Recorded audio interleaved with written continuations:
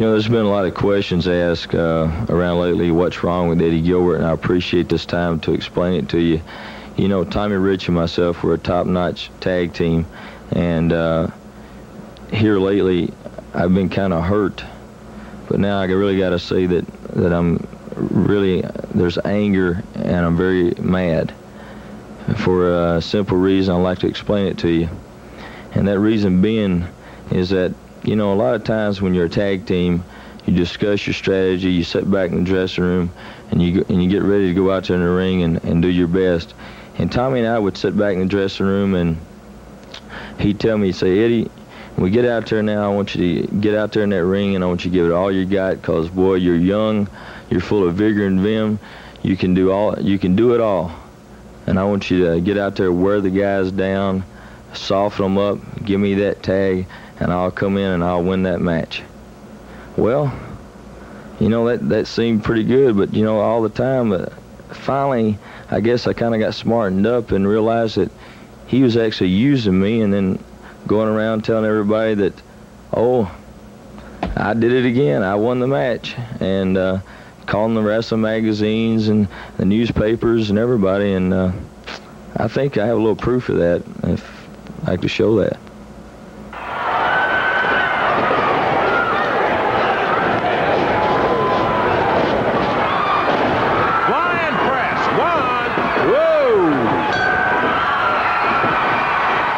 Well, his strategy worked. He went on, he got the international title match. But you know, then he even turned his back on me. And that was something I never expected Tommy to do. But the really thing that really got down deep in my heart was that instead of asking me, his partner, the guy that really went in the ring and, and, and worked my rear end off for him and, and really helped him as much as I could and thought I was his close friend and best friend, he asked Tojo Yamamoto to go out to the ring to be his manager and wound up winning the international heavyweight title. Oh, Yamamoto putting nickels worth in. Here comes Ito. Rich back to his feet. Fires salt right in the eyes of Ito. Covers him with a flying press. One, two, three, and we have a new champion. Now the greed begins to show in Tommy Rich, as you can already tell. Instead, you know, like, for instance, let, let me give you a real good for instance. We used to ride up and down the roads together, instead of starting talking about maybe going back after the tag team titles after he done won the international title, all I kept hearing was, oh man, if I could get a shot at the Southern heavyweight title the Southern Heavyweight title. And I'd sit over there, and I got to be honest with you too. Most of the time, I was driving the car, and and he'd look over at me and talk about the Southern Heavyweight title, and I kept thinking to myself, well, shouldn't I have a chance at the Southern Heavyweight title? I mean, he's already the international champion. Why shouldn't I get a chance at the Southern Heavyweight Championship? Well, it never came about. He was the international heavyweight champion. He got his shot at the Southern Heavyweight Championship, and the greed really started showing because he won it. And then, boy, he was Mr. Big Shot. We may have a new double champ. That's it. 1146. Tommy Rich wins the Southern Heavyweight title. Well, Now Mr. Big Shot has both titles, the Southern Heavyweight Championship and the International Heavyweight Championship.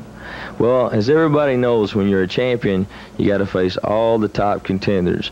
And at this point, it was King Kong Bundy. And you know, Tommy didn't need me anymore as his tag team partner. He didn't need me as his manager like he did Tojo Yamamoto. But he did find a very, very special position for me as special referee because he knew that he would have his hands full with King Kong Bundy. Covers him up. This could be it. That's it.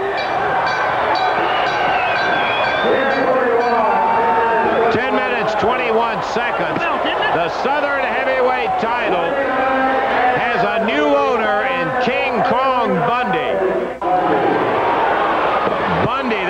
the chain.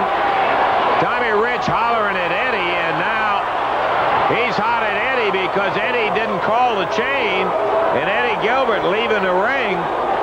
You know, and then after the match was over with, Tommy grabbed my arm, he looked at me and he says, Eddie, you can't do that. You can't count me out. And there once again, Tommy was trying to use me, trying to use my integrity. Let me say something, Tommy. I'm not going to be used by you anymore. Not in tag matches. And speaking of tag matches, I'll certainly never be your tag team partner again. Now, one thing I want to say to you. The only contact ever that I want to make with you again is in the ring because I want to prove to you and to any of these fans out here that doubt my word that I am a better man than you. And brother, I can back it up. And that's a promise to you and the wrestling world anytime and any place.